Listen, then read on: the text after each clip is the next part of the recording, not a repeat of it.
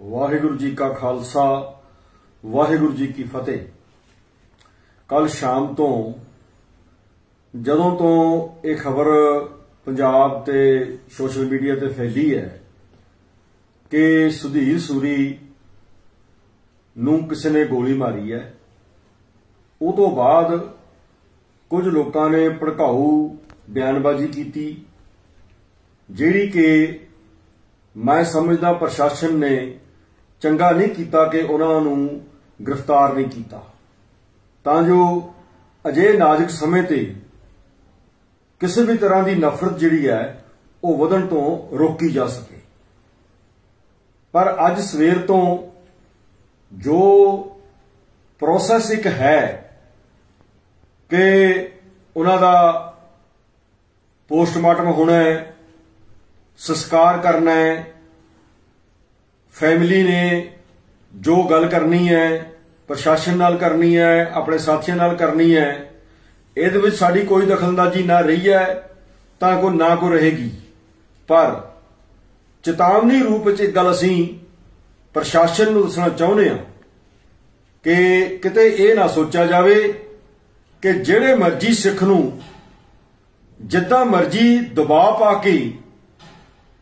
F I R ਦਰਜ ਹੋ ਜੂਗੀ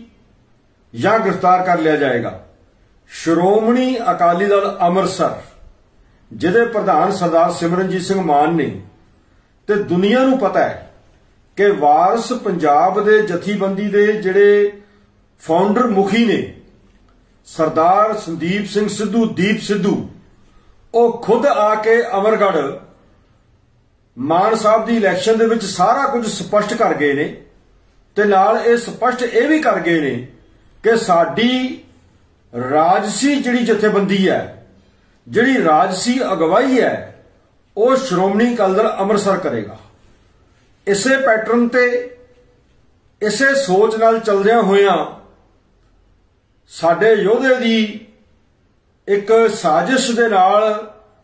ਐਕਸੀਡੈਂਟ 'ਚ ਹੱਤਿਆ ਕਰਨ ਤੋਂ ਬਾਅਦ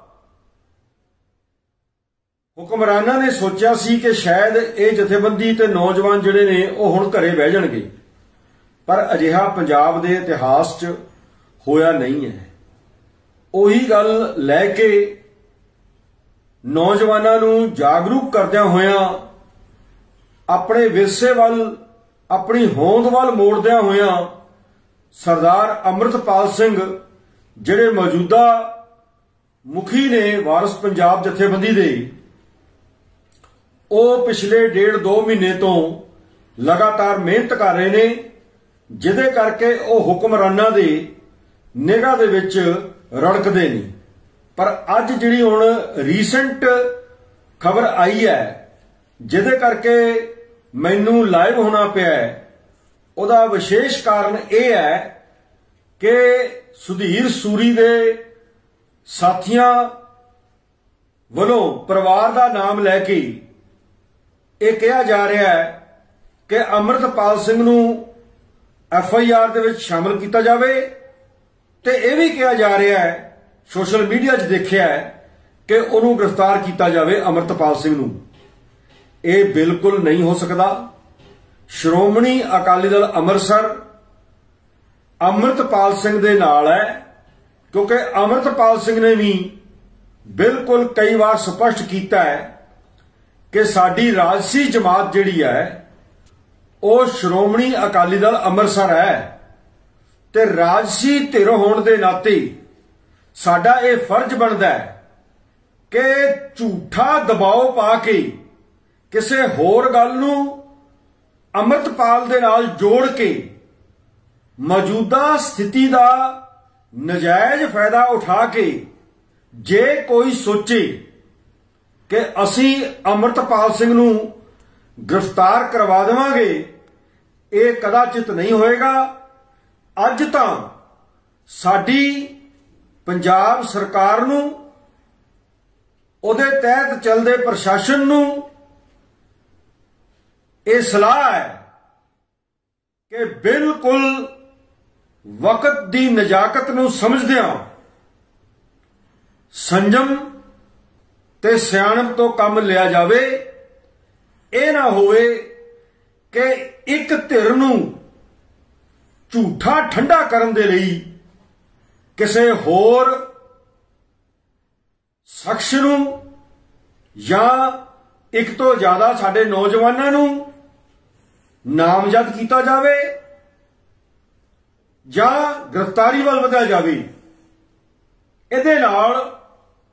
ਸਿੱਖ ਜਿਹੜੇ ਕਿ ਪਹਿਲਾਂ ਹੀ ਤਪੇ ਹੋਏ ਨੇ, ਜਿਹੜੇ 1978 ਤੋਂ ਲੈ ਕੇ ਅੱਜ ਤੱਕ ਸੰਤ ਜਰਨੈਲ ਸਿੰਘ ਖਾਲਸਾ ਭਿੰਡਰਾਂ ਵਾਲਿਆਂ ਦੇ ਨਾਲ ਚੱਲਦੇ ਹੋਏ, ਉਹਨਾਂ ਤੋਂ ਬਾਅਦ ਸਰਦਾਰ ਸਿਮਰਨਜੀਤ ਸਿੰਘ ਮਾਨ ਦੀ ਅਗਵਾਈ ਦੇ ਵਿੱਚ ਸਹੀ ਨੂੰ ਸਹੀ ਤੇ ਗਲਤ ਨੂੰ ਗਲਤ ਕਹਿਣ ਦੀ ਜੁਰਤ ਰੱਖਣ ਵਾਲੀ ਜਥੇਬੰਦੀ ਸ਼੍ਰੋਮਣੀ ਅਕਾਲੀ ਦਲ ਅੰਮ੍ਰਿਤਸਰ 100% ਅੰਮ੍ਰਿਤਪਾਲ ਸਿੰਘ ਜੀ ਦੇ ਨਾਲ ਹੈ ਤੇ ਅਸੀਂ ਆਪਣੇ ਸਾਰੇ ਮੈਂਬਰ ਸਹਿਬਾਨ ਨੂੰ ਬੇਨਤੀ ਕਰਦੇ ਹਾਂ, ਤੁਸੀਂ ਜਿੱਥੇ ਵੀ ਹੋ, ਹੌਸਲੇ ਵਿੱਚ ਤਾਂ ਤੁਸੀਂ ਹੈਗੇ ਹੀ ਹੋ। ਤੁਸੀਂ ਸਹਿਜ ਵਿੱਚ ਵੀ ਰਹਿਣਾ ਪਰ ਇਕੱਠੇ ਵੀ ਰਹਿਣਾ ਤੇ ਤਿਆਰ-ਬਰ ਤਿਆਰ ਵੀ ਰਹਿਣਾ ਅਸੀਂ ਹਰ ਇੱਕ ਲੋਕਤੰਤਰੀ ਤਰੀਕਾ ਵਰਤ ਕੇ ਜਿੱਥੇ ਤੱਕ ਵੀ ਸਾਨੂੰ ਜਾਣਾ ਪਊਗਾ, ਅਸੀਂ ਜਾਵਾਂਗੇ, ਅਸੀਂ ਆਪਣੇ ਨੌਜਵਾਨਾਂ ਨੂੰ ਐਸਕੌਰਟ ਕਰਨਾ ਜਾਣਦੇ ਆ ਤੇ ਕਰਾਂਗੇ। ਇਹ ਮੇਰੀ ਜਿਹੜੀ ਲਾਈਵ ਹੋਣ ਦਾ ਕਾਰਨ ਕੇਵਲ ਤੇ ਕੇਵਲ ਇੱਕ ਸੀ ਕਿ ਪੰਜਾਬ ਸਰਕਾਰ ਬਾਦਲਾਂ ਵਾਂਗ, ਕਾਂਗਰਸ ਵਾਂਗ, ਭਾਜਪਾ ਵਾਂਗ ਕਿਤੇ ਗਲਤ ਰਾਹ ਤੇ ਨਾ ਤੁਰ ਪਵੇ, ਫਿਰ ਇਹ ਸਥਿਤੀਆਂ ਸਾਹਮਣੀਆਂ ਬੜੀਆਂ ਮੁਸ਼ਕਲ ਹੁੰਦੀਆਂ ਨੇ। ਇਹ ਤਜਰਬੇ ਦੇ ਆਧਾਰ ਤੇ ਮੈਂ ਸਲਾਹ ਦੇ ਰਿਹਾ ਸ਼੍ਰੋਮਣੀ ਅਕਾਲੀ ਦਲ ਅੰਮ੍ਰਿਤਸਰ ਬਾਰ-ਬਾਰ ਆਪ ਜੀ ਨੂੰ ਇਹ ਚੇਤਾਵਨੀ ਦਿੰਦੀ ਹੈ ਤੇ ਆਪਣੇ ਪੰਜਾਬ ਭਰ ਦੇ ਸਿੱਖ ਨੌਜਵਾਨਾਂ ਨੂੰ ਬੇਨਤੀ ਕਰਦੀ ਹੈ ਕਿ ਉਹ ਡਰਮੇ 'ਚ ਰਹਿਣ, ਕਿਸੇ ਕੈਸ਼ ਦੇ ਵਿੱਚ ਨਾ ਆਉਣ, ਪਰ ਇਕੱਠੇ ਰਹਿਣ, ਜੋ ਵੀ ਸਾਂਝੇ ਰੂਪ 'ਚ ਬਿਆਨ ਪ੍ਰੋਗਰਾਮ ਜੋ ਬਣੇਗਾ, ਮੌਕੇ ਦੇ ਹਿਸਾਬ ਨਾਲ ਉਹ ਅਸੀਂ ਦਵਾਂਗੇ ਤੇ ਅਸੀਂ ਇਕੱਠੇ ਹੋ ਕੇ ਉਹ ਜਿਹੜਾ ਹੈ ਗਲਤ ਯੋਜਨਾ ਦਾ ਜੇਕਰ ਸਾਡੇ ਸਾਹਮਣੇ ਆਈ ਤਾਂ ਉਹਦਾ ਮੁਕਾਬਲਾ ਕਰਾਂਗੇ। ਬਸ ਇਸ ਲਈ ਮੈਂ ਲਾਈਵ ਹੋਇਆ ਸੀ। ਬਿਲਕੁਲ ਘਬਰਾਉਣ ਦੀ ਲੋੜ ਨਹੀਂ। ਤੇ ਅਸੀਂ ਸਾਰੇ ਤਿਆਰ-ਬਰ ਤਿਆਰ ਆ ਸਹਿਜ ਵਿੱਚ ਆ ਤੇ ਸਾਰਿਆਂ ਨੂੰ ਚਾਹੀਦਾ ਹੈ ਆਪਣਾ ਸਾਰਾ ਧਿਆਨ ਜਿੱਥੇ ਇਹਨਾਂ ਗੱਲਾਂ ਤੇ ਲਾਉਣਾ ਹੈ। ਉੱਥੇ ਗੁਰੂ ਨਾਨਕ ਸਾਹਿਬ ਸੱਚੇ ਪਾਤਸ਼ਾਹ ਦਾ ਜਨਮ ਦਿਨ 8 ਤਰੀਕ ਨੂੰ ਆ ਰਿਹਾ ਹੈ। ਉਸ ਜਨਮ ਦਿਨ ਦੇ ਪ੍ਰਕਾਸ਼ ਉਤਸਵ ਦੇ ਸਬੰਧ ਦੇ ਵਿੱਚ, ਅਲੱਗ-ਅਲੱਗ ਥਾਵਾਂ ਦੇ ਵਿੱਚ ਜਿੱਥੇ ਜੋ ਵੀ ਪ੍ਰੋਗਰਾਮ ਰੱਖੇ ਨੇ, ਉਹ ਪੂਰੇ ਜੋਸ਼ ਤੇ ਡਰਮੇ ਦੇ ਨਾਲ ਉਹ ਮਨਾਏ ਜਾਣ ਤੇ ਅਸੀਂ ਸਾਰੇ ਇਕੱਠੇ ਹੋ ਕੇ ਪੰਜਾਬ ਦੀ ਬਿਹਤਰੀ ਲਈ ਅੱਗੇ ਚੱਲਣਾ ਹੈ ਤੇ ਸਾਨੂੰ ਕੋਈ ਵੀ